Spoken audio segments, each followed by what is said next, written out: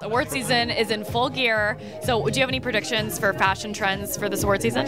Oh, well, you know what? I think a lot of people were disappointed with the Globe saying the ladies didn't push. There were a lot of mermaid dresses and very typical strapless, you know, the obvious. So, you know, I hope there's just a lot of fashion. Like, you know, Charlize Theron was amazing in Dior, Michelle Williams and Jason Wu. Just more girls that are going to kind of push it and maybe please themselves more than the fashion police. Yeah, yeah. So, And so, do you have any um, movies or actors that you're kind of rooting for? oh, you mean to win or to dress well? Well, both. Oh, you know what? For me, it's all about the clothes. I, I really don't. Uh, I mean, you know, I love.